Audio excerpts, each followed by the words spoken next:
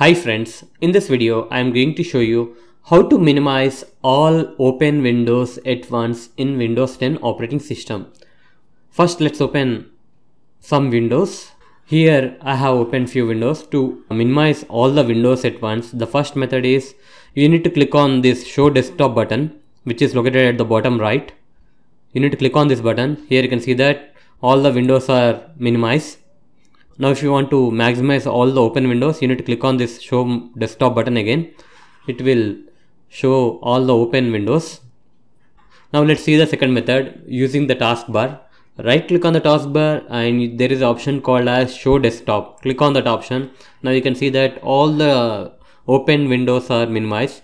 If you want to maximize the windows again, you need to right click on the taskbar and click on show open windows. Here you can see that now all the windows are maximized. And the final method is using the keyboard shortcut. Just press windows plus d key. It will minimize all the windows at once. Here you can see that.